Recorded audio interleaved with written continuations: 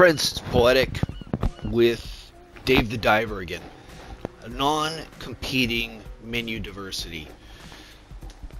So this is every five days. You can see here I've gotten different mails about a festive event of some kind that's going to be happening, whether it's uh, for dishes that are about sharks or dishes that feature cucumbers or dishes for curry. Also, turmeric will fall under this curry uh, curry party, tuna, lobster, etc.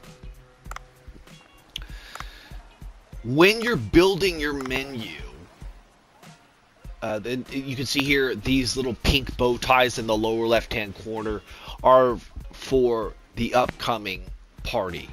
These are going to be high dollar items. With non-competing diversity, you want to focus on one item. I would recommend focusing on just one for each of the different festivals as they occur.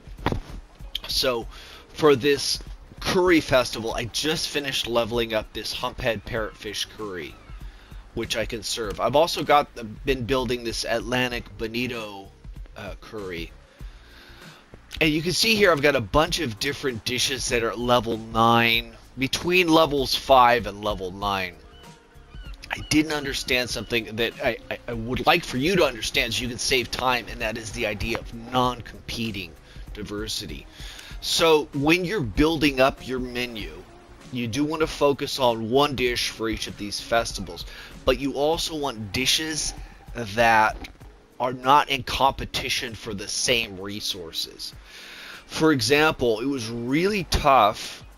I was trying to level this black vinegar braised parrotfish and this vegetable sushi at the same time where you can see both of them require carrots and to get to max level both require hundreds of carrots so i really ended up shooting myself in the foot because i was trying to level them all equally shouldn't have done that should have just focused on one at a time maxed it out and then moved to the second one so in terms of carrots at least for me what has made the most sense was to level up the vegetable sushi first and then level up this parrotfish second and then level up this Atlantic bonito curry third. I'm okay uh, for the curry festival that's coming up because I already have this uh, humphead parrotfish curry maxed out and I can just serve that. But uh, I believe the week before was lobster. And again, this is a mistake I ran into. I didn't snowball it. I could have made a lot more money if I had thrown all my habanero peppers into leveling up the stir-fried habanero lobster, but I was also trying to level this hot pepper tuna at the same time. And you can see it's competing for resources, right? Habanero here, habanero here snowballing makes it a lot easier. Just level up one of the dishes for each festival at a time. So uh, I managed to level up these, and you can see um, these fish, this egg, and this bladderwrack don't compete with this. They don't compete with this. They don't compete with this. This. This this or this, right? I was able to put all of my resources into leveling up this pufferfish dumpling soup with the eggs and the bladderwrack.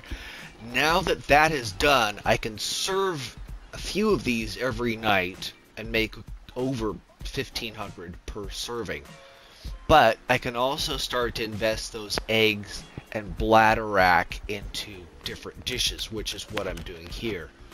I'm investing the bladderwrack into this moonlight bladderwrack roll. And the eggs, I'm able to invest into this steamed eastern rock lobster and egg. And you can see both of these have, have they're almost to max level, but this happened a lot faster than say the braised parrotfish and the vegetable sushi and the Atlantic bonito curry because I finally realized how the game worked and just uh, snowballed it. I invested all of my eggs and bladderwrack into this pufferfish dumpling soup, maxed it out. Now I'm investing all of my eggs into the steamed Eastern rock lobster and egg, and all of the bladderwrack into this moonlight bladderwrack roll. And there's non-competing diversity here. Um, all these ingredients are different than all these ingredients.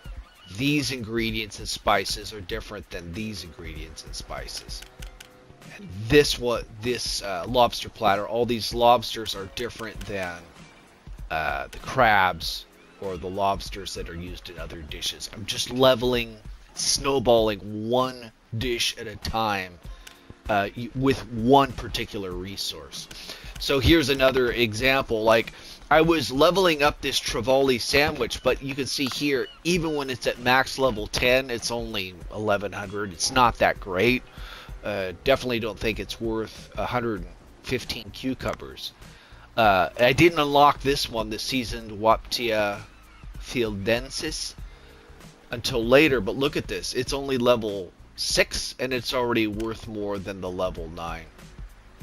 So I'm going to invest my cucumbers into this one instead of this one.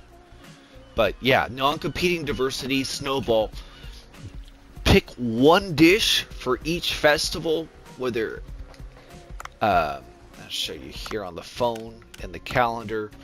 It's I think it's randomized which party you get. I'm not sure. Maybe it follows this order, but the game starts out.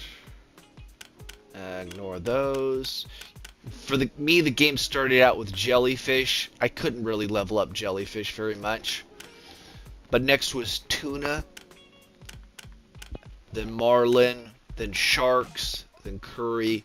So leveling up one dish for each of those festivals enabled me to gain uh, tens of thousands of dollars more than I would have if I'd just been offering a level one dish. So snowball with non-competing diversity in your menu, and you will be making tens of thousands of dollars much sooner. Hope this helps.